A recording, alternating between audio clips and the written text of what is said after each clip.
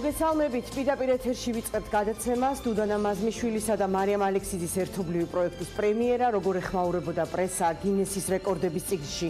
ქართული სპორტსმენის მოხვედრას და რას წერდა ილია ჭავჭავაძის ივერია მზისრული დაბნელების შესახებ მე-19 საუკუნის მიწურულს. დღეს ჩვენი გუნდი პირველამდე წარმოგიდგენთ. ბაჩი ვალიშვილს, რომელიც Facebook-ის გვერდზე გახურებულ თემას გვიამბობს ახლა. დილამშვიდობის ანინო, შუა დღემშვიდობის უფრო სწორად. აა მოგესალმებით. 12 საათიდან არ არის? თითქმის 12 საათია უკვე რა. აა მოკლედ, მეგობრებო. აა ჩვენ ასეთი პოსტი გვაქვს დღეს. საუზმობთ თუ არა დილით, ანუ ასწრებ თუ არა საუზმეს და რითი საუზმობთ. ჩვენ უკვე გვაქვს გამოხმაურება ჩვენს პოსტზე.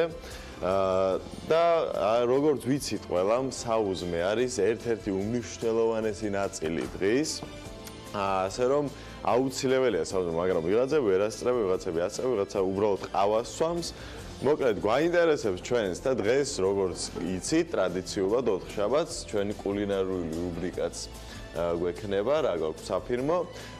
და ამასთან დაკავშირებით ძალიან ესეთ ჩავერთვებით ნელ-ნელა თქვენთან ერთად ბუნებრივია დღეს ასევე ანა კალოტოზიშვილის აქსესუარებს გიჩვენებთ ახალი გამოფენისთვის, მამუკა ხაზარაძიშვილის პირველ სოლო კონცერტს, ბასიანის გასტროლი ესპანეთში და რა ქონებას ფლობენ ჯეიზი და ბიონსე ერთად, ასევე პირველამდე გურმანების საყვარელი რუბრიკა რა გაქვს საფირმო. მაკაჭი ხიდაშელი თბილისის ერთ-ერთ ბაღ რესტორანში პოულობს გემრიელ იმრეულ იმერულ სამზარეულოს ამ დასაგემოვნებელთან ერთად საზრუნოსაც და სანახავსაც უხვად პირდებით დღეს პირველამდე. საქართველოს ნაკრები ხელბურთში მსოფლიო ერთა ჩემპიონატისთვის ემზადება. სპორტსმენები გამარჯვებისთვის ახალი ეროვნებით სერბი მწვრთნელის ხელმძღვანელობით იასპარეზებენ. სპორტის სასახლე მსოფლიო ჩემპიონატის მოლოდინშია. რა გაქვთ საფირმო? ტრადიციულ კითხვას სვამს ვაკაჭი ხიდაშელი ქალაქის შუაგულში მოწყობილ ბაღ რესტორანში. ნახე როგორ მივაპეცე. დეგუსტატორი ბორბლებზე და მისი მორიგი გაჩერება. რუბრიკა გურმანებისთვის დღეს პირველამდე კლასიციზმისა და რენესანსის პერიოდის მხატვრების პერსონაჟები 21 საუკუნის თბილისის ქუჩებში ვინ ქმნის ინტერნეტში გავრცელებულ პოსტერებს და რა მიზანს ემსახურება ხელოვანის ორიგინალური კონცეფცია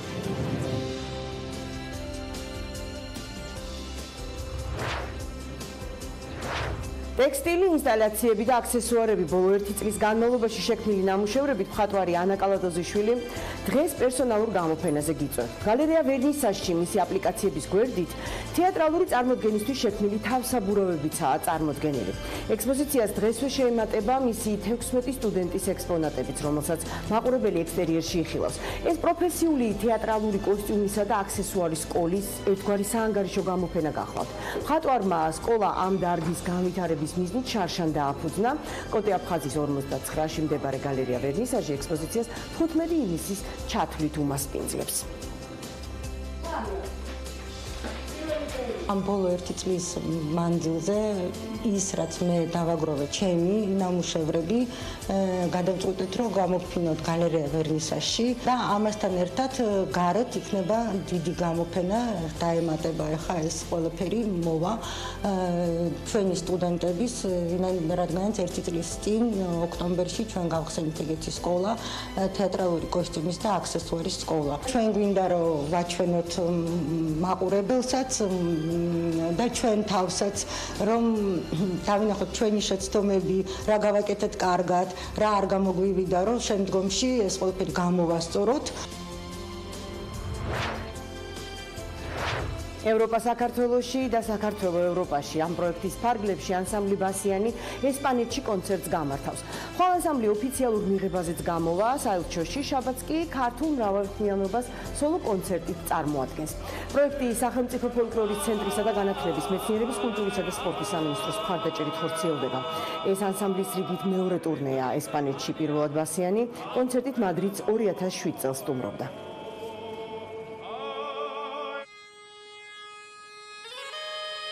ანსამბლი ბასიანი მიემგზავრება ესპანეთში, ქალაქ მადრიდში, გვექნება ძალიან საინტერესო კონცერტები, ერთი ერთი 6 რიცხვში, გვექნება საელჩოში მიღება ასევე 8 ივნის ესეთ სერიოზულ დარბაზში გვექნება სოლო კონცერტი. ბასიანი მეორეჯერ გამართავს მადრიდში სოლო კონცერტს. ჩვენთვის ასევე მნიშვნელოვანია რომ ჩვენ ვართ მიწეული მადრიდის მთავარ რადიოში 1 საათიანი ესე თქო ინტერვიუ იქნება შესრულება ასევე ქართული ხალხური სიმღერები და საგალობლები. რეპერტუარი ტრადიციულად შერჩეულია ქართული პოლიფონიის გამორჩეული ნიმუშები მრავალჟამიერი ჩაკრულო სხვადასხვა ჟანრის შრომის საყოფაცხოვრებო სხვადასხვა ჟანრის სიმღერები და რითაც ჩვენ წარმოვაჩენთ შეიძლება ზოგადად მრავალფეროვნად წარმოვაჩენთ ქართულ ტრადიციულ პოლიფონიას ქართული მრავალხმიანობის გურულ ნიმუშს გთავაზობთ დღეს ცოცხალი შესრულებით ჩვენს ეთერში ანჩის ხატის მგალობელთა გუნდი. ჩვენ 1960-იან წლებში ფრანგი მკვლევარის მიერ ჩაწერილი ქართული სიმღერების, ქართული ხალხური სიმღერებისა და საგალობლების კვალდაკვალ ანზორ ერქომაიშვილის ანალიზს ველოდებით დღეს მკვლევარს ველოდებით ჩვენ სტუდიაში. ეს ყველაფერი მოხდება მომდევნო საათში. მანამდე ვახო ბუხაძის გამოფენა ნული საქართველოს ეროვნულ მუზეუმში გაიხსნა მასშტაბური ზომის ნამუშევრები გალერეის რამდენიმე სივრცეში ნაწილდება. მხატვარი ამ სერიაზე 2017 წლიდან მუშაობს ნამუშევრები ფუნჯის გარეშე ხელით იხატებოდა, ამიტომ შედეგიც მთლიანად მეთოდზე და მასში გამოყენებულ აკვარელზე იყო დამოკიდებული. მოღაძე საკუთარ ნამუშევრებს არა პორტრეტებს, არამედ აბსტრაქტული სახეების გამოსახულებებს უწოდებს და ამბობს, რომ შედეგის გააზრება მხოლოდ მეორე დღეს მისი სრულყოფილად დათვალიერების შემდეგ შეეძლო. ჩემი მდგომარეობა რაღაცით გავდა მდგომარეობას იმ ადამიანისა, რომელიც დილით მნიშვნელოვან ტელეფონის ზარს მოელის. ყოველი შემდეგი დღე იწყებოდა იგივე მოლოდინით და იგივე წერტილიდან, ნულიდან. ნული აბსოლუტის განსახიერებაა. უნდა იყოს ნული.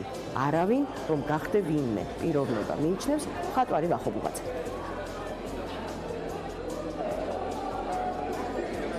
უბრალოდ გამშერები გავაკეთე.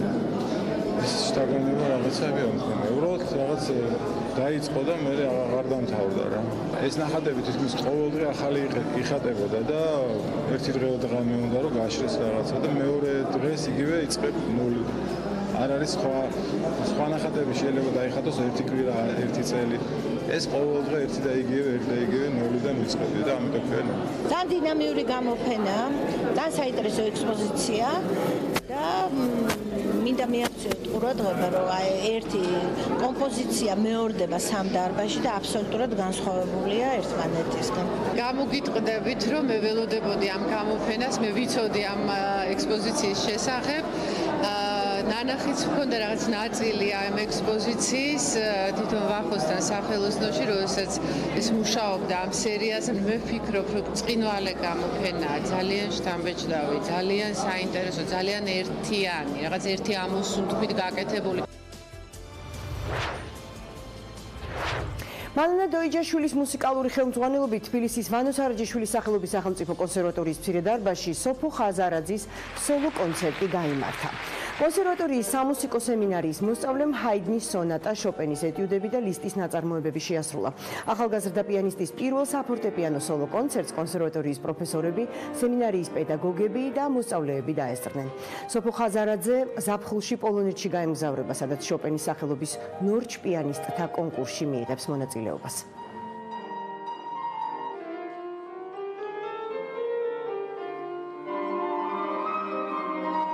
მიმზადებოდი რამდენიმე თვის განმავლობაში, მაქვს ახალი პროგრამაც, მე უმეტესობა დაკრული მაქვს უკვე სხვა კონცერტებზე და ასევე კონკურსებზეც. ძალიან ნერვიულობდი ამ, იმიტომ რომ ძალიან დიდი პასუხისგებლობა არის საჭირო, როდესაც სოლო კონცერტს აკეთებ და ასევე ძალიან მიხარია და ძალიან საპასუხისგებლო არის ჩემთვის. სოფო ჩვენი სკოლის სკოლაში პირველი კლასიდან სწავლობს და ყველანი უყურებთ მისი ნიჭის განვითარებას ესე ნაბიჯ-ნაბიჯ ის ძალიან შრომის მოყარე გოგონა არის არაჩვეულებრივი მუსიკალური თვისებით გამორჩევა. მინდა აღვნიშნო რომ დღევანდელი საღამო ძალიან წარმატებული საღამო იყო.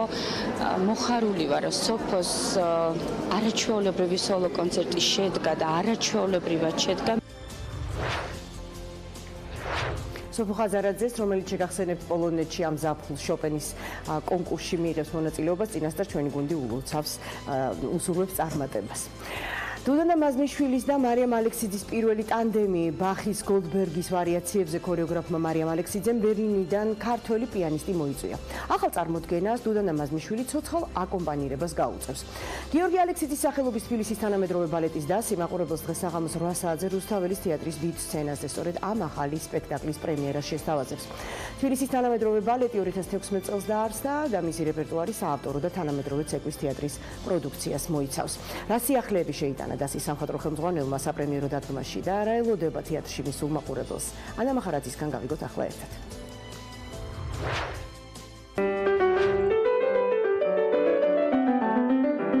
ქორეოგრაფიისა და მუსიკის შერწყმის ექსპერიმენტული ხერხები მარიამ ალექსიძის საბალეტო სპექტაკლებისთვის უცხო არ არის.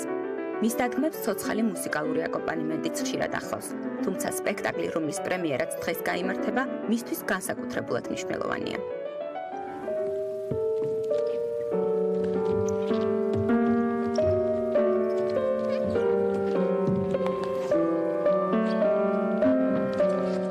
ალექსიძის სახელობის თბილისის თანამედროვე ბალეტის დასი იოჰან სებასტიენ ბახის გოლდბერგის ვარიაციების მიხედვით დადგმული სპექტაკლის გენერალურ რეპეტიციას გადის.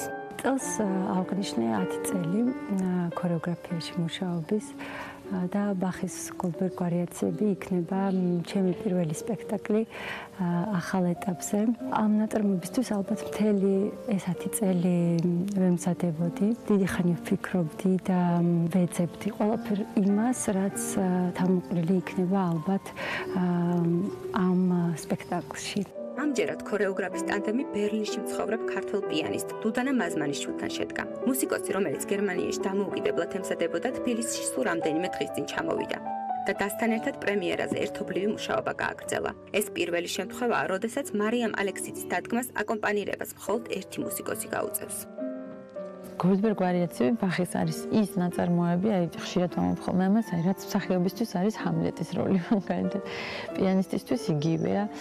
დატვირთვით და მნიშვნელობით. და დიდი ხანია მიდევს ნოტები, მაგრამ სიმართლე გითხრათ, ვერ ვბედავდი რაღაცნაირად რიდი მქონდა ჯერ კიდევ და ძალიან გამიხარდა, როცა ბერლინში სტუმრობისას მარიამმა შემომთავაზა ამ ძალიან საინტერესო პროექტში მონაწილეობა. როგორი გამოგვივა, ამას უკვე შეფასებს მაყურებელი და მსმენელი, მაგრამ სუბიექტური აზრია, რომ ძალიან ძალიან საინტერესო გამოდის.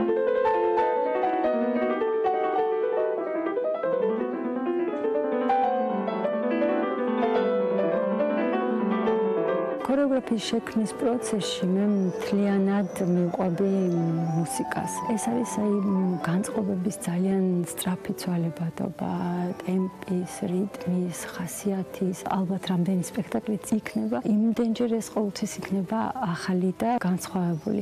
დასი სამხატრო ხელმძღვანელმა სიახლე სპექტაკლის კოსტიუმებში შეიტანა. ამჯერად მოცეკვავეების სამოსი დიზაინერმა თამნა ინგო როყვამ შექმნა. ბახის გოლდბერგის ვარიაციებზე ახლებური ინტერპრეტაციით დადგმული სპექტაკლის პრემიერას მაყურებელი დღეს საღამოს რუსთაველის თეატრის დიდ სცენაზე იხილავს.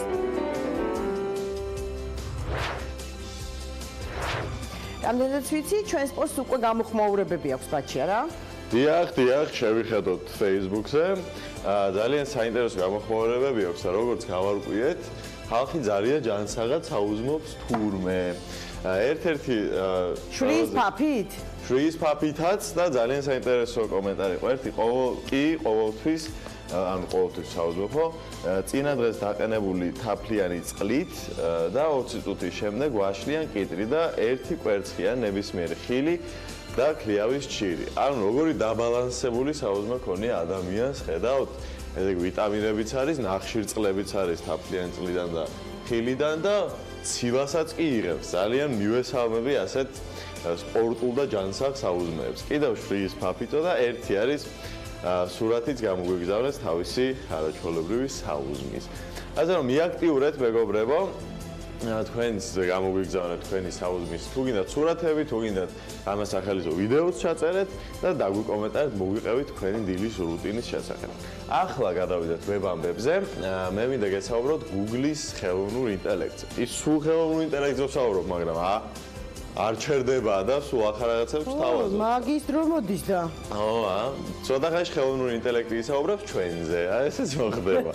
და Google-ის ხელოვნურმა ინტელექტმა ონლაინ თამაში დაამარცხა ადამიანები. ანუ ეს ძალიან დიდი მოვლენა არის. აქამდეც ჯობნიდან ორჩი კომპიუტერული ცნობიერი რაღაც რაღაც თამაშებში ერთ-ერთი არის ცნობილი თამაში, რომელსაც ქვია Dota 2, შეიძლება ვიღაცებმა იცოდენ, იცოდეთ.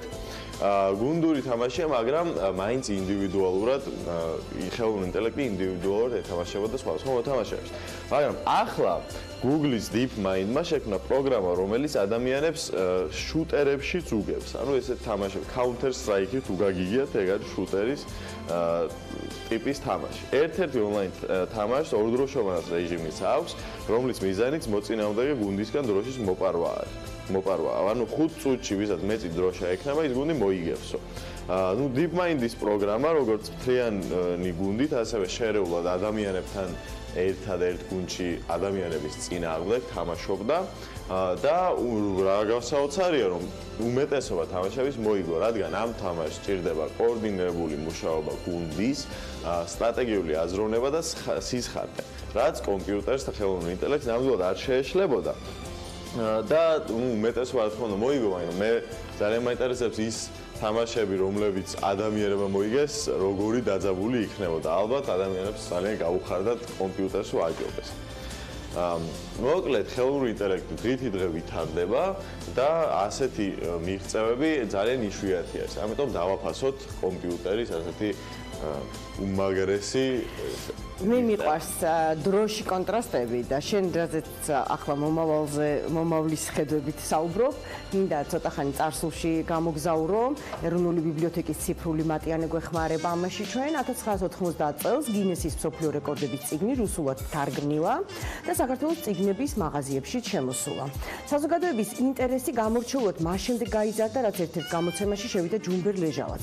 სწორედ ამ პერიოდში 90-იან წლებში გინესის რეკორდების წიგნში მოსახვედრად თბილისში რამდენიმე სანახაობა მოეწყო. გაზეთი ახალგაზრდა ივერილი ერთ-ერთ მათგანს ასე აღწერს: მე-11 კლასის მოსწავლე ვეფხია სულუაშვილმა უამრავი მოწმის თანდასწრებით მეტროსადგურ სამგორთან 10 მეტრზე კბილებით გაათრია გაზ 51, რომელშიც არც მეტი არც ნაკლები 14 კაცი იჯდა.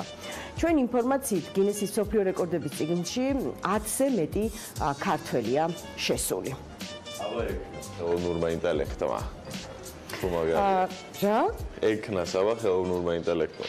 ხო, არის ის თუ არა, მაგრამ აგის დროც არ იქნება შორს ჩემი აზრით. ყოველდღიური გაზეთი ცნობის ფურცელი 1899 წლის ივნისის ნომერში უცხოეთიდან შემოტანილი ჩაის სარეკლამო განცხადებას გვთავაზობ, სადაც მყიდველ საჩუქარსაც პირდებიან. თავზობთ ამონარით რეკლამიდან. იგივეთ ჩაი პირველი მოკრეფისა 1898 წლისა მშვენიერი ყნოსვისა და სასიამოვნო გემოსი. ვინც 12 ან მეტ გირვანკა ჩაის იყიდის საჩუქრად მიეცემა ჩაის სერვისი. გირვანკა როგორც მასის ერთეული საქართველოსი მე-18 საუკუნიდან დამკვიდრდა. ერთი გირვანკა დაახლოებით 450 გრამს უდრიდა ცნობისთვის. ანუ საგაზეთო რეკლამიდან ირკვევა რომ ჩაის სერვიზით დასაჩუქრდებოდა ის ვინც 5.5 კილო ჩაის მაინც იყიდდა მზის დაბნელებას სულ უფრო მეტი ადამიანი აკვირდება მსოფლიოში წარმოიდგენდით რომ თურმე ქართველები მე-19 საუკუნეშიც არანაკლებ დიდი მოლოდინით და ინტერესით აკვირდებოდნენ ამ მოვლენას. უფრო მეტიც, გაზეთი ივერი 1890 წლის 5 ივნისის ნომერში, ანუ დღეს სწორს, დილიდანვე აანონსებს, რომ რამდენიმე საათში მზის დაბნელება დაიწყება. გთავაზობთ ციტატას. დღეს თბილისში მზის დაბნელება დაიწყება 3 საათსა და 5 წუთზე, გასტანს 8 საათსა და 50 წუთამდე წერს გაზეთი. დაბნელება ინდოეთში, ჩრდილოეთ აფრიკაში, სპარსეთსა და საქართველოში იქნება. როგორც 129 წლის წინანდელი გაზეთიდან ვიგებთ, თბილისელების უმეტესობა თურმე ამ სანახაობის აღურებლად მთაწმინდაზე ან სხვა შემაღლებულ ადგილებში იკრიბებოდა. გაზეთი გვაუწყებს, რომ თვარეს სრულად უნდა დაეფარა მზე. შესაბამისად, საქმე უნდა ქონოდა მზის სრულ დაბნელებასთან, რაც საკმაო იშვიათობას წარმოადგენს. ბოლოს საქართველოში მზის სრული დაბნელება 2009 წელს დაფიქსირდა. ახლა გავიდეთ რეკლამაზე, რეკლამის შემდეგ კვლავ პირდაპირ ეთერში თქვენთვის არაერთი საინტერესო რამ გვაქვს საჩვენებელიც და მოსაყოლიც.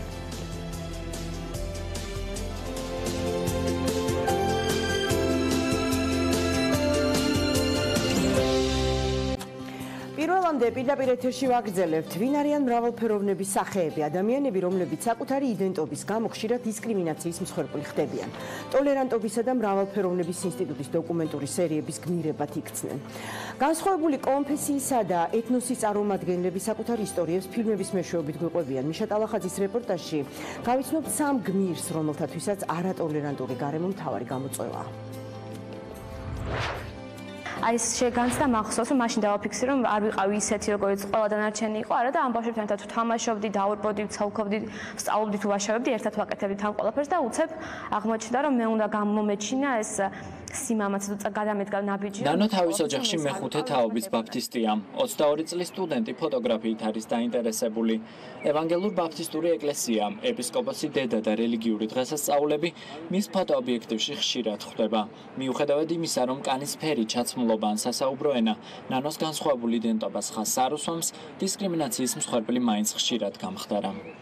ეს ჩემი განსხვავებულობა იმისი პრივილეგია მქონდა რა თქვა რომ უფრო ინტერესისაგანი ყოფილიყო ვიდრე დისკრიმინაცია დისკრიმინაციისა მაგრამ სკოლაში როგორც ძალიან ბევრი სხვა ბავშვი დაწუნებული ვარ სხვადასხვა გვარი და ძირითადად მასწავლებლების მხრიდან ესე იგი არა სასიამოვნო კომენტარების ობიექტი გამხდარვა განსაკუთრებით მაშინ როცა დაწუნებული ვარ არც კი იცოდა მასწავლებელმა რომ შეიძლება ვინმე სხვა იდენტობის ბავშვი ყოფილიყო იმ კლასში მაგრამ მესამე კლასში ვიქნებოდით ალბათ დაახლოებით როცა მოითხოვა რომ ყველანი ვინც არ ვიყავით მართლმადიდებლები ფეხზე ამდგარიყავით და მახსოვს რომ არ შემიცვლია მე ეს პოზიცია. ვიჯექი ყველა დანარჩენთან ერთად და მაშინ ვიფიქრე რომ ეს ჩემს საუკეთესო მეგობარს უნდა სწოდნო და მე ვინ ვიყავი ნანო პროექტ მრავალფეროვნების სახეების ფარგლებში შექმნილი დოკუმენტური სერიების ერთ-ერთი გმირია.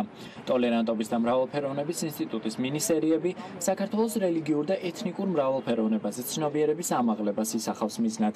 პროექტის ფარგლებში საზოგადოებამ განსხვავებული კონფესიის, ეთნოსისა და რასის უამრავი საინტერესო ადამიანი გაიცნო. მიუხედავად იმისა, რომ არსებობს ეს ვთქვათ მითი ტოლერანტობისა და შემწყნარებლობის შესახებ, ყოველდღიურ ცხოვრებაში ეს ასე არ არის.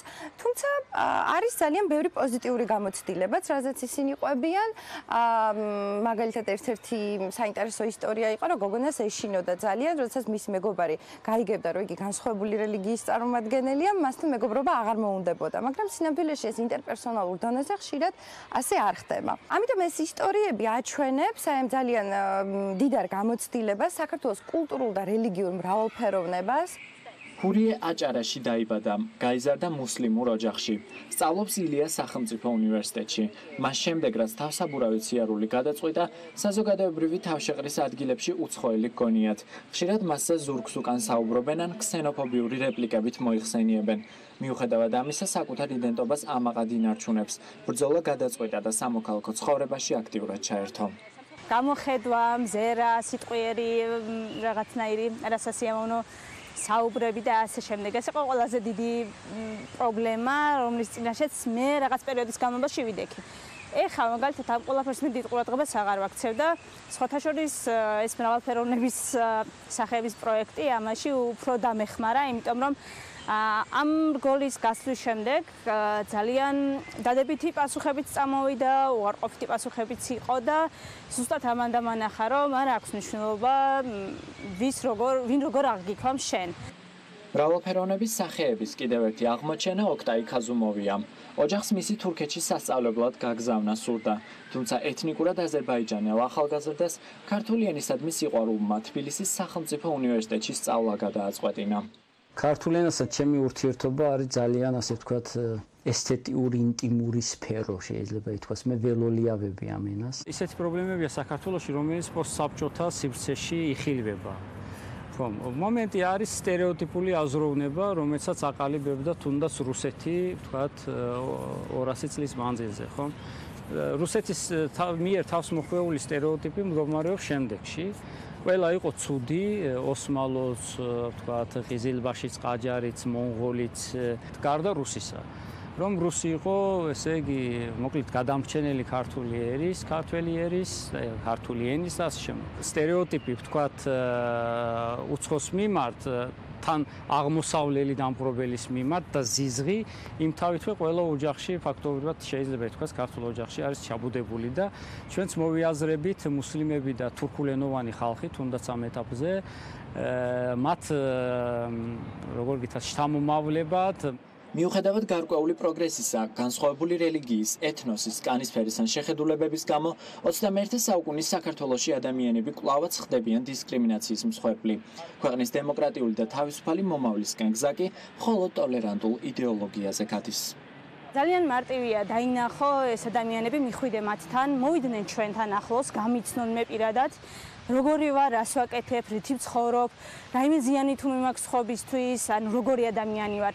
ანუ ზოგადად უბრალოდ რაღაც წარმოდგენები აქვს, თავიანთვის შექმნილი, რომლითაც ცხოვრობენ და არ უნდათ რომ ამ ჩარჩოებს და იმ ლანც, რომელიც თვალწინ აქვს გადაკრული, მოიშორონ და უფრო სხვანაირად შეხედონ სამყაროს და მიხვდნენ რომ ამ სამყაროში მხოლოდ ერთი ტიპის ხალხი ვერ იცხოვრებს. ტოლერანტობის და მრავალფეროვნების ინსტიტუტის პროექტის ფარგლებში მომდევნო დოკუმენტური ნამუშევარი საქართველოსი ანტისემიტურ განწყობებზე შექმნილი ფილმი იქნება.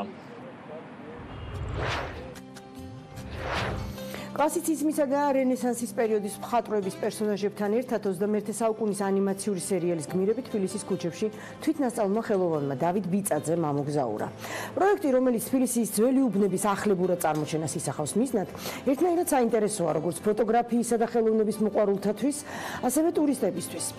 ანიმაციის პერსონაჟების პირად გიდს ლევან ლომიძის სიუჟეტიდან გავიცნობთ ახლა. რენესანსის პერიოდის ცნობილი ტილოები და პერსონაჟები მათ თბილისის ქუჩებში გადმოინაცვლეს. ეს თვითნასწავლი ხელოვანის დავით ბიწაძის პირველი ნამუშევრებია. პროფესიით ინფორმატიკოსმა კლასიკური ნახატების გმირებს გიდობა ტურისტებისთვის მიმზიდველ ადგილებში გაუწია და ამით თბილისის ქუჩებს ახალი ელფერი შესძინა. ჩემი გადაცება ფოტოგრაფიით და გრაფიკულ დიზაინით ბავშვებიდან დაიწყო, მაგრამ დროთა განმავლობაში ნელა ხვეწავდი ორივე უნარს ესე ვთქვათ და სამოყვარულო დონეზე ყოველთვის ვთილობდი რაღაც მსგავსი პროექტები გამეკეთებინა. აა მას შემდეგ რაც ძველ თბილისის უამრავი ღირსშესანიშნავი ადგილი აღმოაჩინე, შევეცადე რომ გამეცოცხლებინა აა როგორც ძველი დრო ნახატების სახით და გამეერთიანებინა თბილისის ინტერიერში და ჩამესვა ისინი თბილისის ლამაზ ნაგებობებში. პირველი პროექტი საკმაოდ შრომატევადი იყო. იქიდან გამომდინარე, რომ უნდა მომეძიებინა ის პერსონაჟები, რომლებიც თემატურად დაკავშირებული იყო იმ სცენებთან და არქიტექტურასთან და ესე შემდეგ, რომელიც გამოყენებული არის ამ პროექტში. პირველი იყო მსგავსი რამ ჩემთვის და მიწევდა ბევრი ადგილის დათვალიერება, სწორი რაკურსის შერჩევა და ასევე იმ ნახატის პერსონაჟების გაცნობა, მათი ისტორია, მათი შექმნის წლები, ისტორიები, რა გავლენა ქონდა ამ პერსონაჟებს და ესე შემდეგ. სიყვარული, სიკვდილი და რობოტები, ასე ქვია Netflix-ის ახალ ანიმაციურ სერიალს, რომელიც 25 წლის დავითის ინსპირაციის წყარო გახდა. ფოტოგრაფიისა და გრაფიკული დიზაინის ახლებური შერწყმით სერიალის გმირები ძველი თბილისის ისტორიულ უბნებში დასეირნობენ. პროექტში ერთ-ერთი მთავარი თემა ასევე ქართული სამზარეულოა, რომლის მიმართ გულგრილნი არც რობოტები რჩებიან. ჩემთვის ეს სერიალი იმდენად ინსპირაციული გამოდგა, რომ როგორც კი დავამთავრე ყურება, მაშინ შევდექი ახალი პროექტის გაკეთებას. იდეა მდგომარეობდა იმაში, რომ თბილისის უბნებისთვის შეემატებინა რაიმე ისეთი, რომელიც მას გამორჩეულს გახდიდა, როგორც საქართველოს მცხოვრებთათვის, ასევე ტურისტებისთვის. პროექტს დაახლოებით 2 კვირის განმავლობაში ვაკეთებდი და მინდა აღვნიშნო, რომ მასე მუშაობა ძალიან სასიამოვნო იყო. რამდენადაც იმ ადამიანების მოწონება დაიმსახურა, ვინც ჩემთვის საკმაოდ მნიშვნელოვანია და გარდა მეგობრების და ნაცნობებისა, საზოგადოებაში საკმაოდ კარგი გამოხმაურება მოყვა. ტექნიკურად ნუ ამის კეთება ძნელი არ არის, აქ უბრალოდ უნდა დაინახო რამდენად სწორად შეიძლება პერსპექტივაში ფერთა კორექცია, რამდენად სწორად არის შერჩეული და ესე შემდეგ. ხელოვანის შემდეგი პროექტი უკვე მზადების პროცესშია. დავით ბიძაძის საყვარელ ექსტერიერს თბილისის ქუჩებს ამჯერად გადაშენების პირას მყოფი ცხოველთა სახეობები ესტუმრებიან. უახლოეს მომავალში გეგმავ ახალი პროექტის გაკეთებას, რომელიც ნაწილობრივ მოიაზრებს საქართველოსი გადაშენების პირას მყოფი ცხოველების პოპულარიზაციას და მინდა რომ ეს ცხოველები საქართველოსი არსებული ცნობილი ადგილების საშუალებით გავაცნო ქართულ საზოგადოებას და ასევე უცხოელ ტურისტებს. ეს ხელ შეუწყობს როგორც საქართველოს პოპულარიზაციას, ასევე იმ ცხოველებისაც, რომლებიც გადაშენების პირას იმყოფებიან და შესაბამისად მეტი ყურადღება მიექცევა მათზე ზრუნვას. როგორც დიზაინერი ამბობს, მისი პროექტები თბილისის ძველი უბნების წარმოჩენას ისახავს მიზნად. დავით ბიწაწე იმედოვნებს, რომ თავისი ორიგინალური პოსტერებით ტურისტებსაც დააინტერესებს. და დრონის შესახებ, რომელიც რომელსაც არ ჭირდება ავტომატურ მართვა. ის დაწინასწარ შეიძლება დააპროგრამო, ხო? გვინდა რომ მოგვიყო ახლა. ანუ ეს როგორ ხდება? წინასწარ აზრილ რაღაც ბრძანებას, რაღაც კოორდინატებს და იმის მიხედვით მოხდა. არა, ხელოვნური ინტელექტის მეშვეობით თვითონ რო ჩართავ და გაფრინდება ტრაექტორიაზე რომ იდის დაბრკოლებები რაც ხდება კომპიუტერული ხედვის ფუნქცია არის ეს ტესლას მანქანებსაც აქვს ავტოპილოტი რაზეც მუშაობს ხელოვნური ხედვის მეშვეობით საზღვრავს დაბრკოლებას და გვერდსულის ან რაღაც ამ ვიდეოს შემთხვევაში თვითონ ძრება ესე ოთხკუთხედ იმებში ოთხკუთხედ გასაზრომებში და დრონების ბოლა საერთოდ ძალიან პოპულარული ხდება თანდათან. ბევრი დრონის ფლობელი, სხვა ფლობელებთან ერთად იკრიბება და რალის აწყობენ ხოლმე წრეზე დრონებს არ არ ბოლებენ. აა რობოტიკსმა ხელოვნური ინტელექტის მეშვეობით შექმნა აი ასეთი დრონი, რომელიც ყველაზე პატარა დრონია ჯერჯერობით შექმნილა და ის 72 გრამს იწონის, რაც სერიოზული გარღვევა არის საერთოდ ამ ტექნოლოგიაში. და მეორე მნიშვნელოვანი და მთავარი ის არის რომ ეს დრონი არის ავტონომიური, ანუ მას შეუძლია დამოუკიდებლად მიიღოს ბოლაში მონაწილეობა და დახვეწის შემთხვევაში ვარაუდობენ რომ ის უკვე 100%-ით ავტონომიური ხდება და ურთულეს რელიეფში შეიძლება განახლებული და გამოძობესებული კომპიუტერული ხედვის მეშვეობით გაძვრეს, გამოძვრეს და იფრინოს. ეს ტექნოლოგია მნიშვნელოვანია არა მარტო სპორტული თვალსაზრისით, რაც ძალიან საინტერესო სანახაობას შემოგთავაზებს მომავალში დრონებით რბოლა თუ იარსებებს, ასევე მნიშვნელოვანი არის თუნდაც ტელევიზიებისთვის შეიძლება კამერა დაამაგრო დრონზე და ავტომატურად ის თავისით გადაიღებს შენთვის საჭირო სიუჟეტს ან სამხედრო ექსპედიციებიც თუ ასე შემდეგ. მოკლედ ნახოთ მომავალი რას იცი რა ხო ახლა ხა წონა ამ შემთხვევაში სატელევიზიო გადაღებებისთვის არ ვიცი რამდენად კარგია როდესაც ძალიან მსუბუქია იმიტომ რომ მოგვეხსენება რომ სატელევიზიო გადაღებებისთვის აი ამ დრონის თავი პრობლემა არის რომ არ ამოვარდეს ქარი. აა იმიტომ რომ ვერ უწევს ქარს წინააღმდეგობას მიყვება ანუ ქარს და როგორც ხშირად ხდება ავარიით სრულდება ეს ყველაფერი. მაგრამ აქ მნიშვნელოვანი ის არის რასაც შენ ამბობ რომ რასაც შენ ამბობ რომ ის დაინახავს ბარიერებს ეს ძალიან კარგია იმიტომ რომ მე არაერთ გადაღების მოწმე ყოფილ ვარ როდესაც მაგალითად დრონი იმიტომ რომ ვერ დაინახეს ან სწორედ ვერ მართეს გამოდებია რომელიმე თენის კაბელს მაგალითად სადენს უბრალოდ და ჩამოვარდნილა და დაზიანებულა. ხო ის თუ ამას თვითონ იგრძნობს ამ საფრთხეს და არ მივახოს მაგარი იქნება. ნახოთ ახლა კი მოდი გავლენების მიღმა და მოვლენების შუაგულში დღის ამბებს გავყვეთ ჩვენს არხზე. ნინო კიდევ ერთხელ მოგესალმებით ახალ ამბებს მოკლედ 12-ზე გიორგი კიკაბიძე გიყვებათ. საქართველოს ოლიგარქების გავლენა და კანონის უზენაესობა კვლავ გამოწვევა ამას Freedom House-ის დირექტორი ამბობს. ორგანიზაციის ერთ-ერთი ხელმძღვანელი ამერიკის ხმის ქართულ რედაქციასთან ინტერვიუში აცხადებს რომ რეგიონში საქართველოს საუკეთესო შედეგები აქვს თუმცა კვლავ არის გამოწვევები. მათ შორის ორი უმთავრესი გამოწვევა ოლიგარქების გავლენა და კანონის უზენაესობა. შეკითხვაზე არის თუ არა თავისუფალი და დამოუკიდებელი მედია ქვეყანაში საქართველოს ხუთი შესაძლო ქული ქულიდან ორი ქულა აქვს. ამ ანგარიში საქართველოს მედია მდგომარეობა ცალკე არ არის განხილული, თუმცა წლევანდელი შეფასებით დემოკრატიის კუთხით ქვეყნების შეფასების ინდექსში საქართველოს პოზიცია ერთი ნიშნული ჩემცირდა და ანგარიში ოლიგარქი აქტორების დიდ გავლენაზე ამახვილებდა ყურადღებას მცირედი უკუსლის მიზეზის შორის კი ბოლო საპრეზიდენტო არჩევნები და ბიძინა ივანიშვილის არაფორმალური მართლობა და გავლენა სახელდებოდა.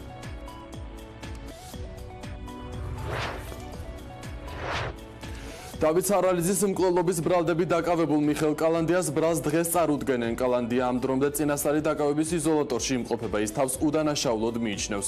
შინაგან საქმეთა სამინისტრო კალანდიას დავით სარალიძის ჯგუფურად დამამძიმებელ გარემოებაში მკვლელობას ედავება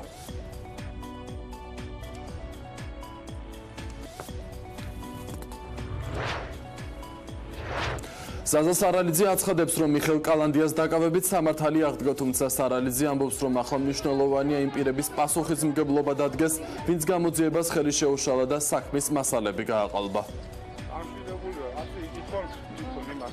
რა თქმა უნდა ახსოვდა ასე რომ ვთქვათ იმ სამართლის ნაწილი რაზედაც დღემდე ვიბრძოდით მაგრამ ეს არ არის სრული ჭეშმარიტება იმიტომ რომ ჯერ კიდევ სასამართლო პროცესები წინარე მიხეილ კალანდიასი და გამოძიება კიდევ გრძელდება და ნახოთ რა გამოიკვეთება ამ გამოძიების სრულობის დროს. შესაძლებელია გაიზარდოს დამნაშავეთა წრე, იქიდან გამომდინარე, რომ არის იქ გამოძიების ეტაპზე გამოკვეთილი არის კონკრეტული პირების დანაშაულების წვლილები. პროკურორები და იმას აღარ საუბრობ იქიდან გამომდინარე, რომ ისინი ისედაც უკვე პასუხისგებაში არიან მესაც ორი ინსტანციის სასამართლო რო გეტყვის, რომ კვლელი კიდე გარეთ არის და გარეთ ეძებე, ესე იგი არ ყოფილი ხარ პროფესიონალი პროკურორი, ან იმდენად პროფესიონალი ხარ, რომ ვიღაცა დაგვეთას ასულებ. რაც შეეხება მიზა სუბელიანს, მე ისე და ესე ვიტყვი იმას, არავის არ ვეთანხმებოდი მიზა სუბელიანზე წაყენებულ ბრალს და მით უმეტეს უკვე სასამართლო განაჩენს.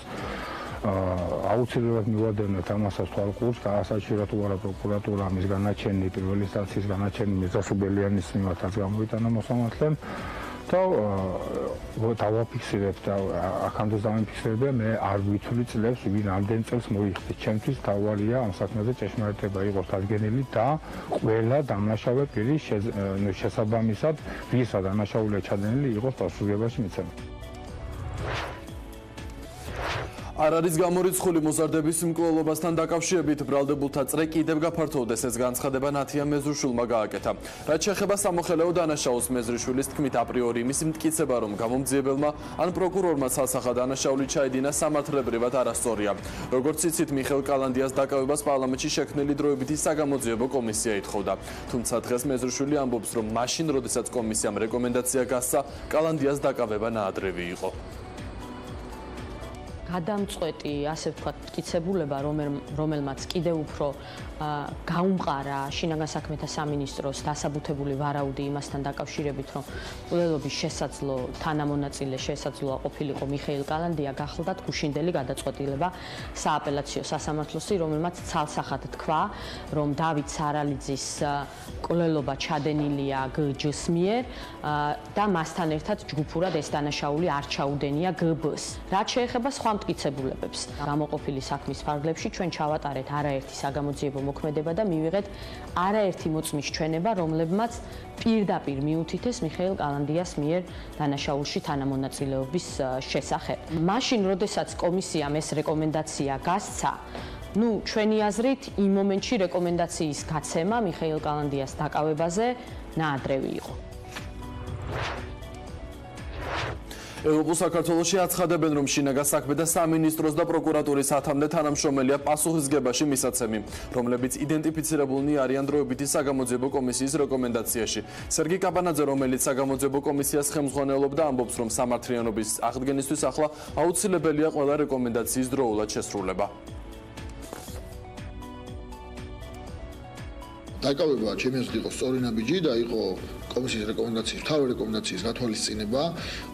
ეს ყველაფერი არის საბოლოო ჯამში შედეგი იმ საზოგადოებრივი წნეხის და იმ ფართოდ გავრცელებული ინფორმაციის ამსაქმესთან დაკავშირებით, რაც მოხდა კომისიის მუშაობის შედეგად და პირველ რიგში, რა თქმა უნდა, რაც მოხდა სარალიძის ქმედებების და აქტივობის შედეგად. ჩემი თავარი მოლოდინი აწი არის, რომ და თავარი მიმართულება ჩვენი მუშაობის ამ კუთხით იქნება ის, რომ დანარჩენი რეკომენდაციები შესრულდეს ამ რეკომენდაციის მსგავსად და კონკრეტულად კი ის რეკომენდაციები რომლებიც ეხება იმ ადამიანების ქმედებების შეფასებას რომლებმაც გააყალბეს ეს გამოძიება თავის ძროხ გალობლიშვილის ქუჩაზე გამსკდარი მილი აღდგენიდან 24 საათში ისევ გასკდა. საავტომობილო მოძრაობა ამ დრომდე გადაკეტილია ჯორჯიან ვოთერენდ პაუერმა დაზიანებული მაგისტრალური ქსელის აღდგენის სამუშაოები გვიან დაასრულა თუმცა დღეს წყალმა ისევ ამოხეთქა. დაგებული გზის საფარი კი მეორედ ჩაინგრა. შეგახსენებთ რომ ორი დღის წინ ცენტრალური მილების დაზიანების გამო გზა ჩაინგრა და დაიტბორა საცხოვრებელი სახლის სარდაფებიც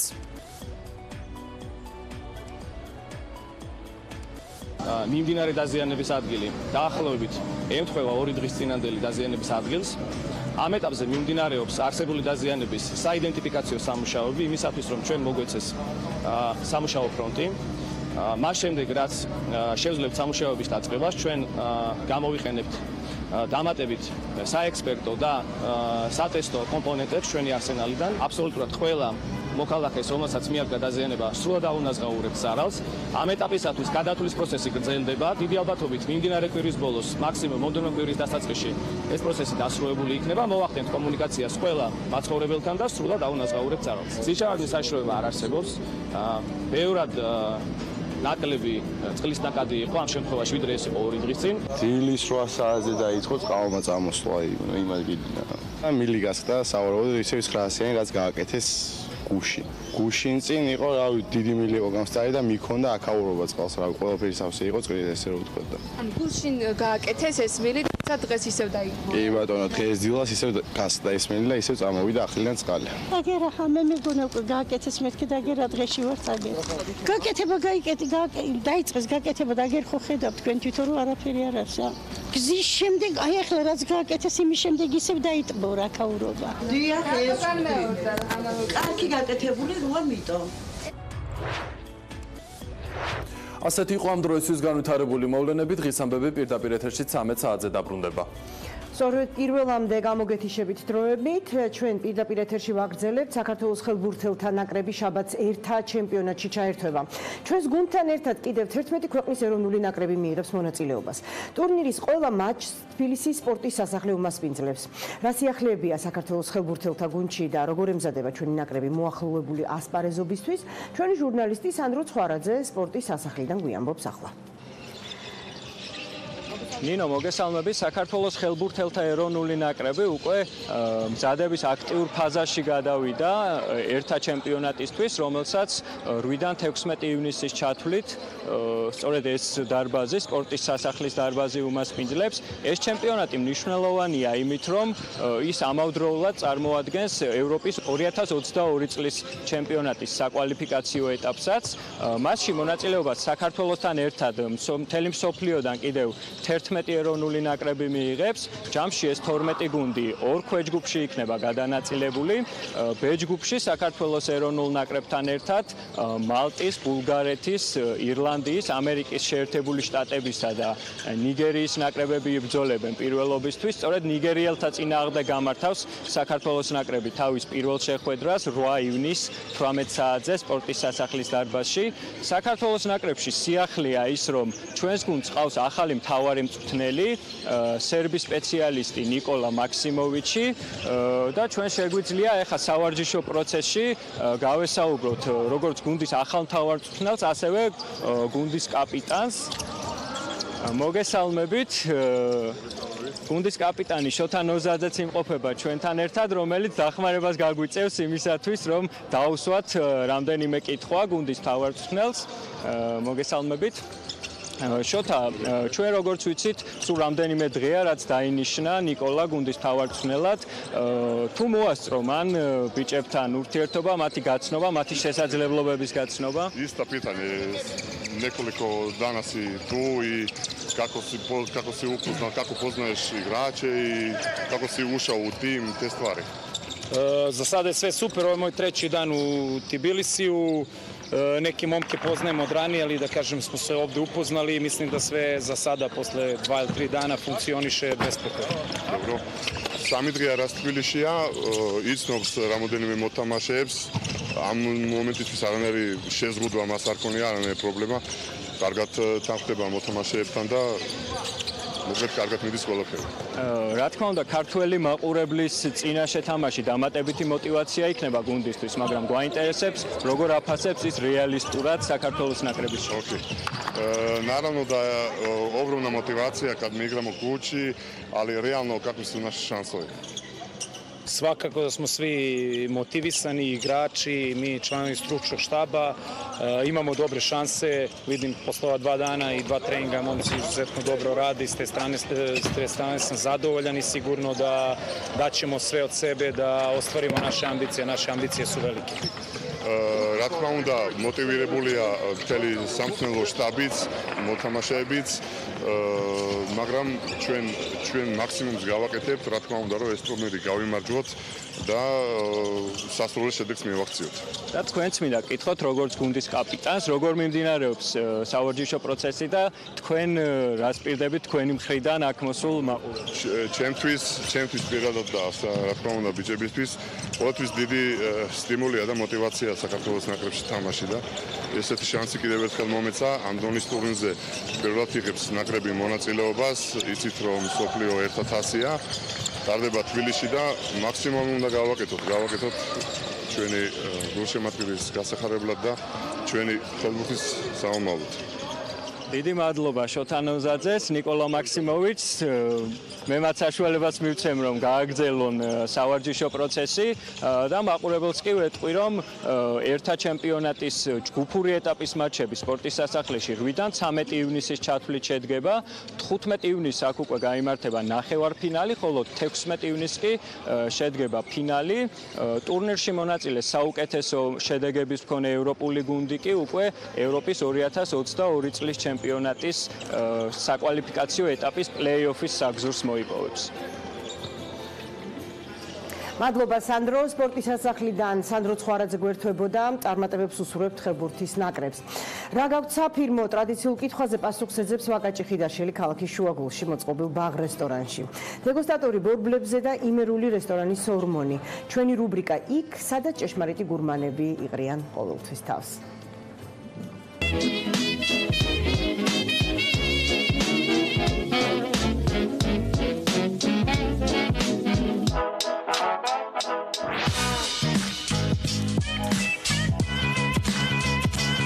რესტორან სორმონს უნდა ვესტუმროთ. კეთი რა საფირმო ესე ძალიან საინტერესოა.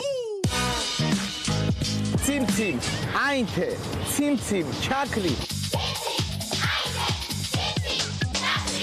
ციმ ციმ ციმ ციმ.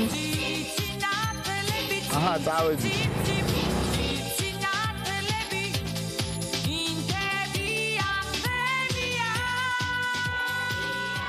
აი მოვედი ძალიან ჩქარა რესტორანი სორმონი. უყურებს როგორი ინტერიერია გალები ნახე ეს ხე აქ შბაში რა არის? დიერივა გამარჯობათ გამარჯობათ გამაგარი სამსახური გაგიჩიტი. ნახე რა რესტორანი გვაქვს ცოცხალი ხეები. ხო და ეხლა ნუ შემოვედი პირდაპირ ხედავხდა. მე მეგონა შედამხდები მაგ. პირველი რესტორანი იყო სხვათა შორის, სადაც ასეთ შევინარჩუნეთ ხეები ინტერიერში. ის მომწოს.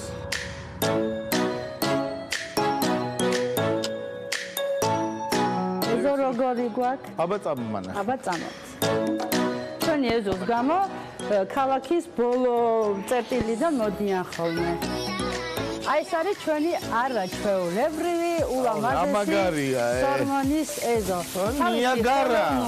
ნიაგარის ჩანჩქერით, ამადინებით, ამადინჩიკი. თუთი ყუშები. ყაილები რამდენი გინდა? ხო, ეს ესეთი ძალიან ლამაზი ეზო არის. აი საბურთალო შუა გულში გარშემო რო ესეთი არანორმალური მოძრაობა არის, ეს არის უაზისი, რომელიც სხვათა ეს წარმოიდგენ რო ახალი, ხო? სამ ყველაფერთან ერთად უგემრიელესი კერძები.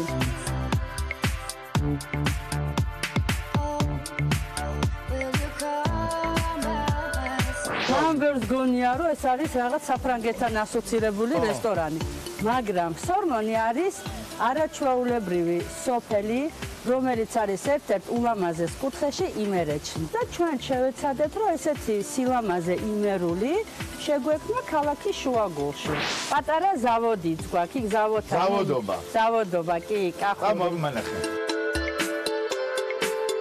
აი ახლა კახელები რო ეტყვიან მოყუჟულში, აი ესე გავშლით ხოლმე ესეთ პატარა კახულშოტები, ჭაჭა, ну რა თქმა უნდა ალკოჰოლის მიღება სამუშაო დროს არა, ერთი აქაურება სტაფისთვის და ჩემთვის როგორც მენეჯერი. სანამ სამზარეულოს შევიდოდი, დაგლოცავ მიხარია შედინახო ყოველთვის. ვისაც უყვარს აი ესეთი გასტრონომიული ტურები რესტორანში, რატომ უნდა მოვიდეს ჩვენთან? ხოს ხორცი ჩამოგვაქვს იმერეთი და ურბილესი არის და პირში დნება, სუნე ყვავილები, რომელიც ნამდვილია, სუნელოვანი იფხვება. აქაც არის, ყვითელი ყვავილი. კი ბატონო, ჩამოდის იმერეთიდან მჟავეულობა, ჭადის თვილი მიდააღნიშნო, რომ სპეციალურად ჭადის გამოდადის ჩვენთან ხამე, თხელი წკიპინა ჭადები გვაქვს, უგემრიელესი. სლოგანი გვაქვს ესეთი, რა გაქვს საფირმო. თქვენ რა, აი რას თავაზობთ, ვინც ჩამოდის.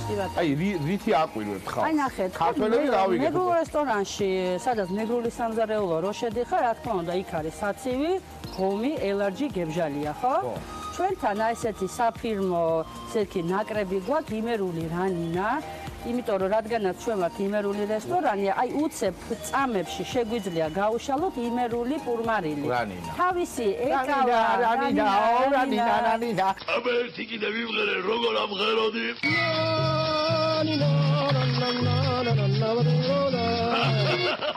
ასე უნდა სიმღერა. ეს რანინა რა არის? შეიძლება გავაკეთებინო დღეს? რა უნდა აუცილებლად გავაკეთებთ? ეს არის იმერული, ესეთი პატარა სუფრა არის. რომ სადაც არის წიწილა სოფლის, ეკალა, პრასი, დატეხილი ყველი. ეს სამი კაცი იქეიფებს. გემრიელესად.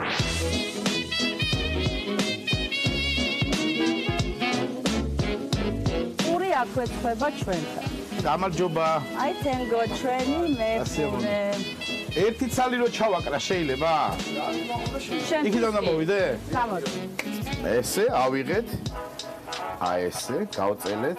ესე და ერთი ცალი რო ჩავარტყა? აჰა. და სად სად მივა? აჰა.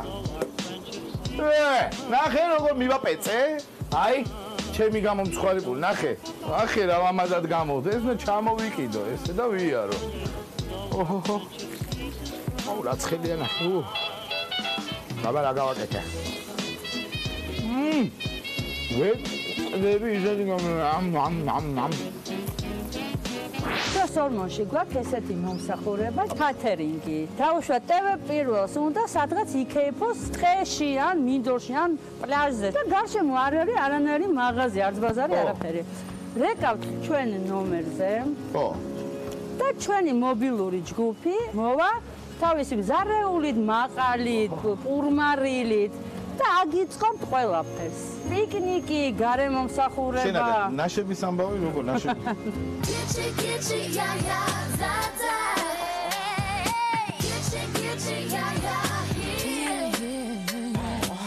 ჩვენი შევზარეული ბატონი კაკა ეხლა ჩვენ აგვიწყობს ჩვენ იმერო რანინას. სადაურია ეს სადაური რა თქმა უნდა დასა კი რა თქმა უნდა აი ახალი ცხელცხელი ის ის ის რა თავარია. ნაღდი იმერული ყველი. ხრაშუნა დატეხილი მამა თუ არა? ხო დაუდო დაუდო ესე ეს მამა პაპუ ესეც გავშალო? აუცილებლად აჰა. აი ყველს კაი წვანელი უნდა გენაცროლე წვანელი რომ კაი სუფრას კაი სიმღერა მოძდევს კაი ღვინოს კაი მსმელი. კაი სადღიგზელოც უნდა და კაი სიმღერაც. ეკალა. ეს ეკალა. ყოველი შეზავებული ჩემო კაი აბა მასუნე გემო გასინჯი დააგებო ბოდიში ხელით უნდა ავიღო მამა პაპურა ესა ძველი რეცეპტი გემო. მაგარია და შეგარ აუ სიმჟავე კარგათაა სიმჟავე იმიტომ რომ ემლითა ახალი თხემი შეზავებული არაჩვეულებრივი ეს ვინ არის? ეს არის ნადუღი ნამდვილი ნადუღი არა თუ ისა. თავის პიკრები და რა ყველაფრით ესე დავჭრით აჰა განაჩილი ყოფს კი. ტრავენტილის კი ბრაზილიურ დანაკ ნუ რა სიზავ ახლა საქართველოსში აღარ უშვებენ კარგად ესე დაუდებთ ამას ჭადებს აჰა ესე ხელ მოტეხავ ხო რა მამა პაპურად მიიღო ქართული რანინა, მიმერული რანინა. მიმერული. კაი ეკლექტიკა, კაი აი ეს ნადუღი როგორ მოუხდება ქათამს არ ვიცმა? აბა ნახე შენ გასინჯ. რა თქმა უნდა ადვილად საჭმელი ბარკლის აი ესეთი ამონაჭერი, გამა. რა არის?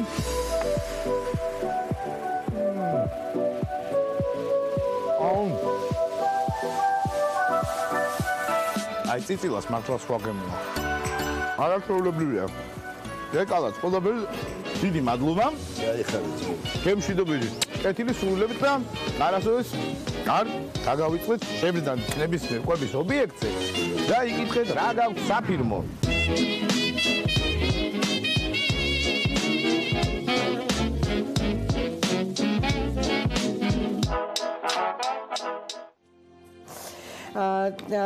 ეხა მართლა ყველა ცოტა ვარ დილიდან რეები გასინჯეს, რეები გააკეთეს და აი ყველაზე მეტად გიждდები ყველს ყველი რომ მოაქვს უფრაზე დატეხილი. აა სხვა შორის აი რაღაცა მეც მინდა ხოლმე ოჯახში რომ ეს ქნა, მაგრამ აი რა რატომაც არ მახსენდება. მე ავიღებ ხოლმე დანას ეგრევე ჭრინა. ოჯახურ გარემოში რაღაცა არ არის. ნუ ტრადიციულად მიღებული, რავი. ქალაქში. კაია ეგრე, ხო, ძალიან მოსახერხებელია. მაგარი, აი რამ ხელა უკმასაც გინდა იმ ხელას მოკვდეჩი. სხვათა შორის ახლა შევიხედეთ TripAdvisor-ზე, ესეთ საიტი არის, სადაც რეიტინგები დგება რესტორნების და სორმონი არის პირველ ადგილზე. ანუ გამოხმაურებების გამოხმაურებებით, მომხმარებლის გამოხმაურებებით პირველ ადგილზე არის თბილისში რესტორნები. ანუ ეს იმას ნიშნავს, რომ ტურისტები, ვინც მიდიან და აგემოვნებენ სამზარეულოს, მე უნდებათ რომ დაწერონ ამ ყველაფრის შესახებ ამ პორტალზე, ხო? ხო, 206 გამოხმაურება აქვს და ყველას უწერია 5 ხუთი კულა და ეს ძალიან იშვიათი არის თბილისის რესტორნებში და მთელ მსოფლიოს რესტორნებში. ან რა ვიცი, საინტერესო უნდა ვესტუმროდი. ეკალა მიყვარს ძალიან ეგეც დავაგემოვნებ იმასე. კიდევ აი ხა რაღაც სიახლეს გადავაწყდი კიდე ცალკე Twitter-ზე სანამ TripAdvisor-ზე ვეძებდი რომ თურმე 2024-ში NASA აპირებს რომ დაბრუნდეს თვარეზე. ანუ კაცობრიობა უბრუნდება თვარეს და ამჯერად შეიძლება დავრჩეთ საერთოდ იქ. და ნიშანდობლივია რომ ზუსტად 50 წლის წინ პირველად დადგა ადამიანმა ფეხი მთვარეს და დადეს ასეთი თვიტი Johnson Space Center-მა. NASA-ს ერთ-ერთმა კოსმოსურმა ცენტრმა დადო ასეთ თვითი 50 წლის წინ NASA ემზადებოდა ადამიანების მთვარეს დასასმელად, ახლა ჩვენ ვემზადებით 2024-ისთვისო და თქვენო მომხარებელმაო და ადამიანებმა გამოგიგზავნეთ სიმღერები, რას მოусმენდით მთვარეზე გამგზავრებისას, ანუ გზაში მთვარემდე რა სიმღერებს მოусმენდით. მოკლედ მე უკვე ჩემი ვარიანტი მივწერე. ამ ტვიტზე ან შეიძლება ზოგადად უბრალოდ Twitter-ზე ან Facebook-ზე დადო თქვენი სიმღერა hashtag-ით NASA Moon Tunes. ასეთი hashtag-ია. და NASA-ს მიუა ეს სიმღერები და კოსმოსში რო გაფრინდებიან 2024-ში ასტრონავტები, მოусმენენ თქვენ მიერ შერჩეულ სიმღერებს, რაც ჩემი აზრით ძალიან მაგარია. თან მთელი მსოფლიოდან ახლა ძალიან საინტერესო კამპანიაა.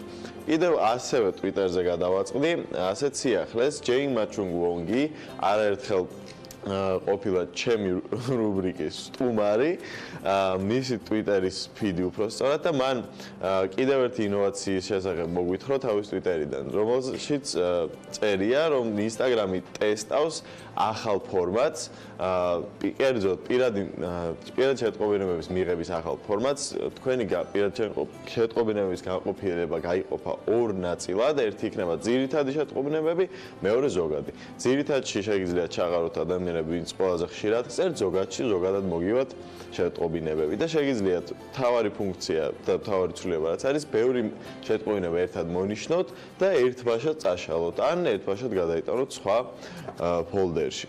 და ამ გახსენებაზე ისევ ტექნოლოგიური სიახლე Apple iTunes აუქმებს. ამ iTunes აუქმებს კი არა და უფრო სწორად სამ სხვადასხვა აპლიკაციად დაიყოფა. 2001 წელს iTunes-ი შეიქმნა ინტერნეტ მეკობრეობასთან საბრძოლველად.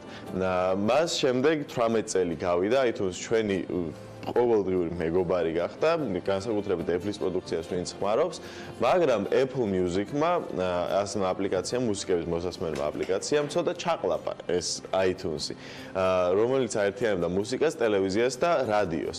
ახლა დაიყოფა სამ კომპონენტად: Apple Music, Apple TV, ანუ Apple ტელევიზია და Apple Podcast-ი. ანუ პოდკასტი არის რადიოს რაღაც ახალი ვარიანტი. აა ძალიან ცოტა ისეთ გულდასაწყვეტი არის Apple-ის მომხმარებლების, იმიტომ რომ 18 წელი რაღაც რო ჩვევით, ცოტა ძნელია, მაგრამ ასე მოუწია. შვილები გააჩინა iTunes-მა, სამი ბავშვი ყავს ახლა. მოკლედ, დღეისთვის სულ ეს იყო ინტერნეტის სიახლეებს, რაც შეეხება. მე დაგიბრუნდებით ხვალ კიდევ ერთი და იაქტიუროთ Facebook-ზე, რა თქმა უნდა. კიდევ დრო არ გვეყო სამწუხაროდ, მაგრამ კიდევ რამდენიმე გამოხმაურება გქონდა და ერთ-ერთი სურათიც ესე გამოგიგზავნეს, როგორ საუზმობს ეთო არსანიძე. კარგი. ხვალამდე მეგობრებო. ეს ნერწვის კლაპვის დილა გვაქვს ჩვენ, ხო? აქ. აა რეკლამის შემდეგ ჩვენ ველოდებით ანჩის ხატის მგალობელთა გუნდს. ასევე შემოგვიერთდება ანზორ ერქომაიშვილი, რომ TV პირველის მაყურებელმა, პირველებმა გაიგოთ 1960-იან წლებში ფრანგი მუსიკის მცოდნისა და მკვლევარის ექსპედიციის შესახებ საქართველოში, რომელსაც 300 ქართული მრავალხმიანი ხალხური სიმღერა ჩაუწერია. რეკლამის შემდეგ ბრუნდებით ამ არხზე.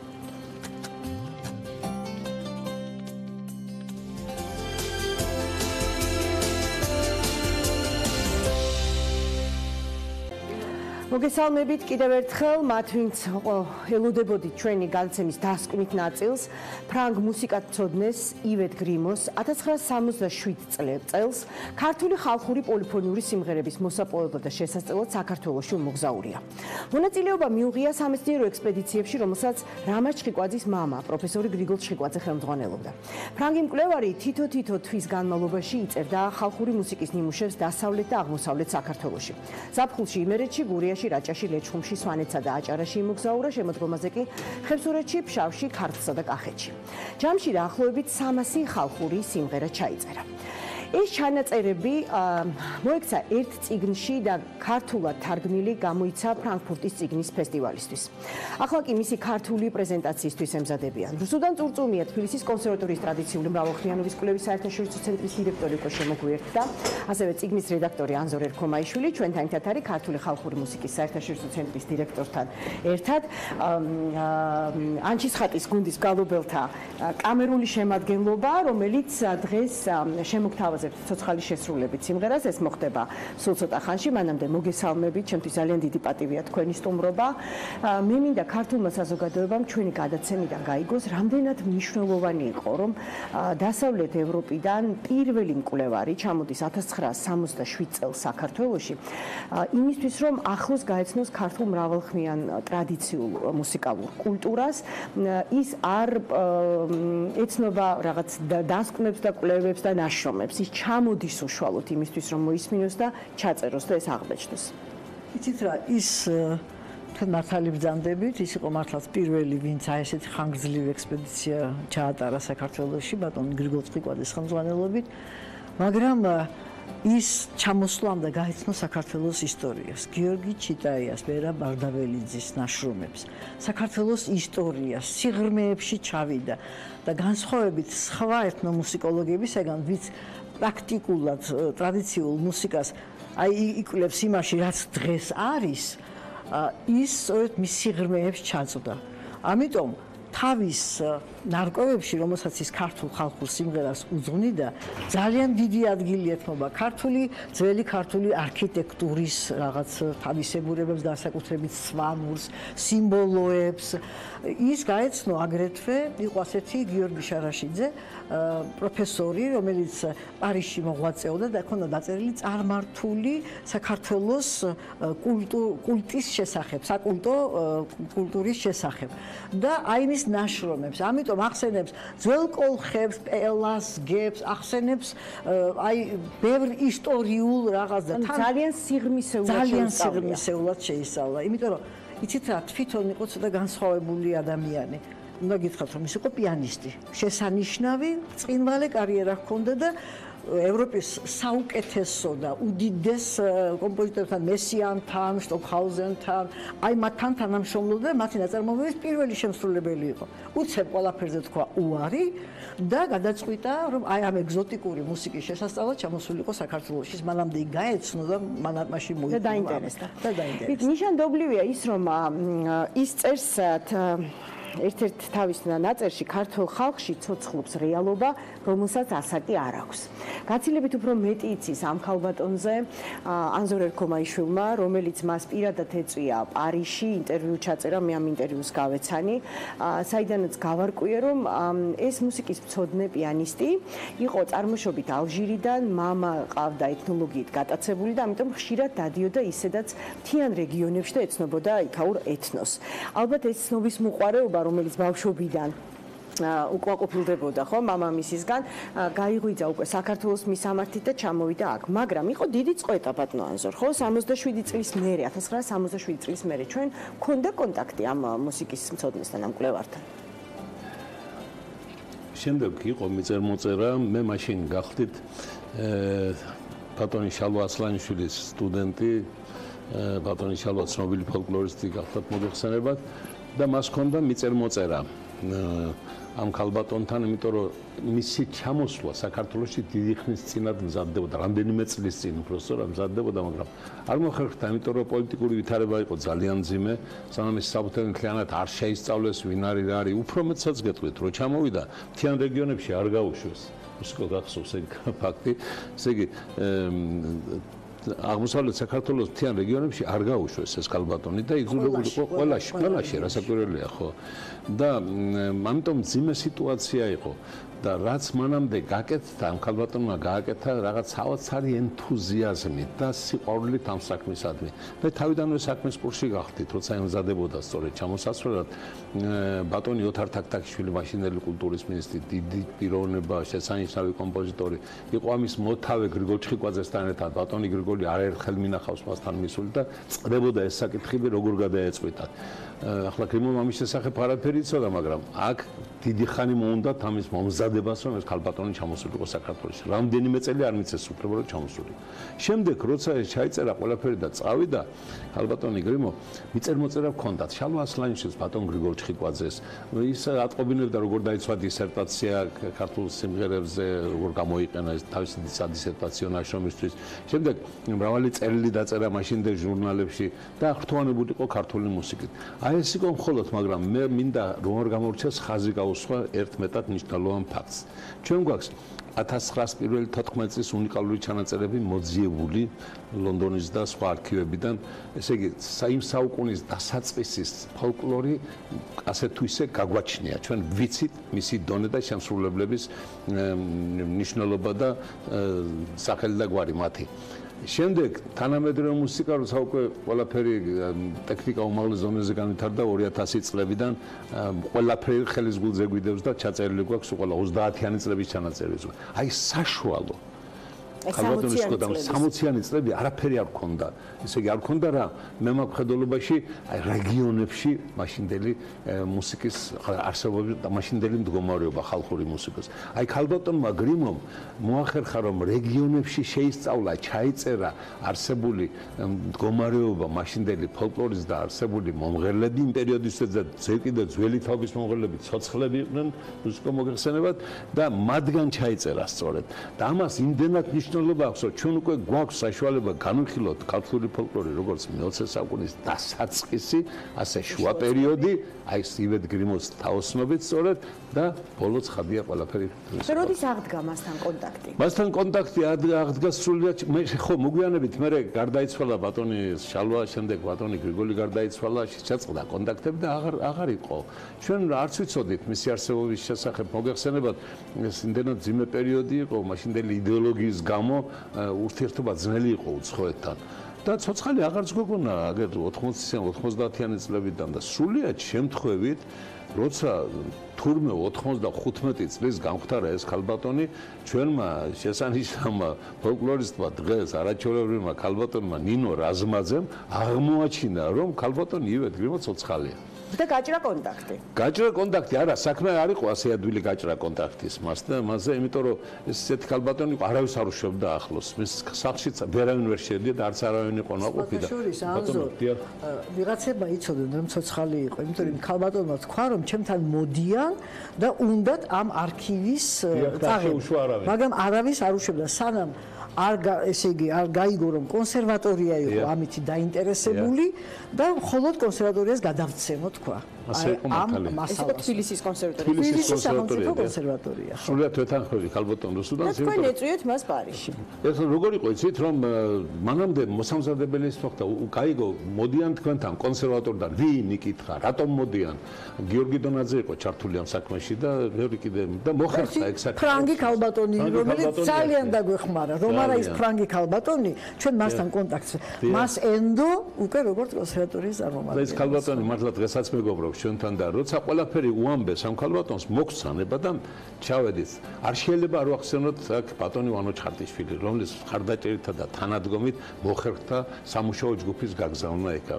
მე ჯგუფი გახდ ჯგუფში გახდით. მე თქვენი მონამორჩილი მიხეილ კილოსაინძე ხმის რეჟისორი და კაკო ტექნიკ ინჟინერი, ტექნიკური ინჟინერი, რომელსაც მე ჩაეწერა ეს. მაგნიტურ ფირზე დაგხვდათ, ხო, ჩანაწერები? ჩანაწერები იყო მაგნიტურ ფირზე. სად მოხდა მისი აციფრვა? შემდეგ, შემდეგი თემაა, ესე იგი, პირველად რომ შევედით, ქალბატონი ძალიან ისე თბილად შეგვთა, მაგრამ 95 წლის ქალბატონი ხო წარმოგიდგენიათ ამ მდგომარეობაში იყო. გაიხსენა მაინც ისეთი მეხსიერება ქონდა ის ბატონი გრიგოლ ჩხიკვაძე და შალვა ასრანიშვილი და სხვა ვალო დიახობაძე და სხვები, მაგრამ გაიხსენა ეს მონაწილეები, რომლებიც მასთან ერთად იყვნენ, მაგალითად თამილა თაბაგარი გაიხსენა, მოიკითხა როგორ არის, ესე იგი აბსოლუტური მეხსიერება ქონდა ზუსტი ამ კალბატონს. მე ჩემი გვარის მიხედვით, ჩემი წინაპრებიც გაიხსენა, რომელთან ურთიერთობა ქონდა მე. ციგნში წავს ნახსენების ხო შეიძლება ლადიკო. ლადიკო, დიახ, არტემი უკვე აღარ იყო ცოცხალი ვერ მოესწრო. ლადიკო ერქომაი. და აი ესეთი ურთიერთობის შემდეგ გვაჩვენა ეს თავისი ისა. ეს იყო ფირებზე, მაშინდელ ფირებზე დახვეულ, ისე იგი ფირებზე ჩაწერილი შენახული ხელუხლებელი ტრიანიც კი იყო ხელუხლებელი ალბათ საფრანგეთში მოხდა მისი იცით რა? პარიში ჩაიწერეს ეს ყველაფერი ხა. იცით ძალიან მნიშვნელოვანი ის არის რომ ეს რო ჩამოვიდა აქ გაციფრდა ჯერ ეს ერთი აუცილებლად მინდა ვთქვა. ეს გამოცემა არ იქნებოდა რომ არა ფონდი ქართული გალობა რომელმაც არა მარტო მაშინ დაგვეხმარა იქ რომ წასულიყო და ჩამოეტანათ ეს არა მთელი ციგნი დააფინანსა. აქ ფრანგულიდან ქართულად ითარგმნა ივეთ გრიმოს ნაშრომები. ანუ ტექსტი ტექსტი ნაშრომების რომელიც ძალიან სერიოზული ტექსტები ძალიან სერიოზული დამოკიდებულება იცით რა ეს არის ეს უნდა იცოდეს ქართულმა საზოგადოებამ როგორ აფასებდა ეს ქალბატონი ქართულ ხალხურ სიმღერას. და რას ამბობს იცი აი ჩამოვიდა დახვდა პატრიარქალური სამყარო და ამბობს რომ ეს ხალხი ძველ აღთქმაში ცხოვრობს ანუ ძველი აღთქმის ღირებულებებით ცხოვრობენ. ის იყო მომსწრე სუფრაზე როგორ ადიდებდნენ უფალს როგორ მღეროდნენ საგალობლებს. იმის ისიც კი გახდა კახეთში რო ჩავიდა ქართული უკვე იცოდა და იქ თამადა ეკითხება ერთ-ერთ იმას. ამასთან თქვა იმისი შეიძლებაო ამან კი დაიგო და მაგრამ ეს მხოლოდ ინტერვიუში ჩაწერა. მანამდე არ უთქვა. მანამდე ამის თქმა არ შეიძლებაოდაო და კიო ესა სანდო ქალბატონიაო და მე ადგა და უფლის ადგეგძელო დალიაო. ესე იგი ძალიან კარგად იყო ყველაფერი ჩახედული. წიგნში შესულია მისი ტექსტები და წიგნს ახლავს 4 კრებული ქართული სიმღერების ჩანაწერების, ხო? 4 დისკი, ხო? 4 დისკი. კომპაქტური დისკი. აი ამ 300 სიმღერაში ბატონო ანზორ არის ისეთები, რომლებიც დღეს ნაკლებად ან საერთოდ აღარ სრულდება? როგორ არა არის? რომელიც უფრო ნაკლებად სრულდება იმიტომ რომ ახლა ის ჩანაწერები ქალბატონი რუსუდანის ხელმძღვანელობით თვითონ არ თქვა მაგრამ ცენტრმა ძალიან ბევრი გააკეთა. ფონდი ქართული გალობა დაგვეხმარა მის გარეშე ვერაფერს ვერ გავაკეთებდით მართლა. მაგრამ შემდეგ ქალბატონმა რუსუდანოვ და მისმა ჯგუფმა მოკიდეს ხელი იგივე ნინო რაზმაძემ და სხვებმა და შექმნეს მართლა შესანიშნავი ნაშრომი. მე იქიდან მარტო ის არ ჩამომიტანია მისგან ინტერვიუ ჩამოვიტანე რაღაც მასალები კიდე რომელიც ურთიერთობებში გაიყო ნაშრომები ჩამოვიტანე ნაშრომები ჩამოვიტანე მთელი მისი და გადაწერილი აქედან სპეციალურად წავიღეთ მახსოვს ლევსიშოვეთ ნაგრა იაპონური აპარატი, იმიტომ რომ სხვანაირად ვერ გადაიწერდით იმას და გადავწერეთ, ესე იგი დღედაღამე მუშაობდით. მიხეილ კილოსანძის სასახელოდ უნდა ერქვას, რომ ყველაფერი გააკეთა, რომ მაღალ დონეზე გადაგვეწერა თელი ფონდი. და ჩამოვიტანეთ ეს ფონდი თავისი ინტერვიუებით, როგორ მახსოვს, გამოსათხო არის ფოტოსურათი. არაძროდ არავის ფოტოს გადაღების უფლებას და ჩვენთან ისე ახლოს შემოვიდა კონტაქტი უკვე, რომ სამახსოვრო ფოტოსურათი ბოლოს გადავიღეთ ერთად. ამ წიგნში სურათები არის. არის ეს სურათები და დავაბარა დიდი მოკითხვა ყველასთან ფოლკლორისტებს თან საერთოდ კონსერვატორიის ხელმძღვანელობასთან და ყველასთან. და ქალბატონი რუსუდანი სწორედ შეუდგა მის ჯგუფთან ერთად ამ ციგნის გამოცემის რა ქვია გამოცემას და გააკეთა ყველაფერი რომ ციგნი მაღალ დონეზე გამოსულიყო. კიდევ მეორე ფონდი ქართული გალობა გვერდში გვედგა ბოლომდე ვანო ჩხარტიშვილთან ერთად და ყველაფერი გააკეთა და მომზადდა. ციგნი გამოიცა. ამ 300-დან ერთ-ერთს აპირებს რომ დღეს შეგვისრულოს ანჩისხატის გუნდის კამერული შემადგენლობით უკვე ჩვენთან არიან სტუმრები. რას გვიმღერებთ? ჩვენ შევასრულებთ ადილას გუნდობის სიმღერას, რომელიც ქალბატონმა გრიმომ ჩაწერა გუთურში, სოფელ გუთურში. ამ ვარიანტს შემოგთავაზებთ. ძალიან საინტერესოა.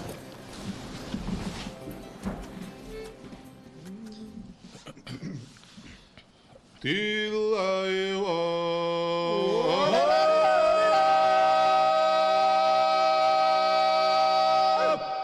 and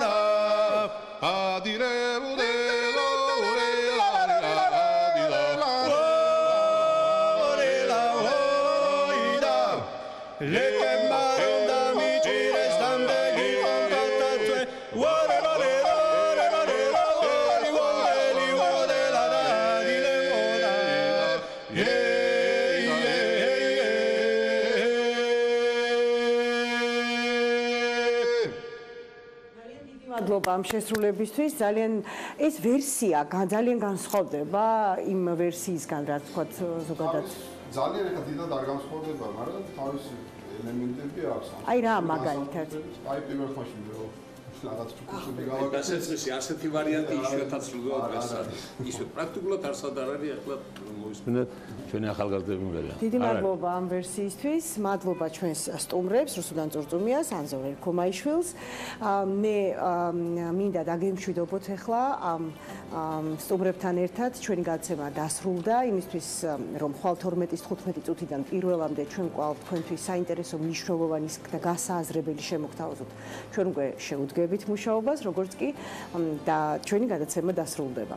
ზუსტად პირველზე კი მოვლენების შუაგულში დღის ამბები გააგრძელებს პირდაპირ ეთერს ტელეკომპანია პირველზე. მადლობა. ძალიან დიდი მადლობა.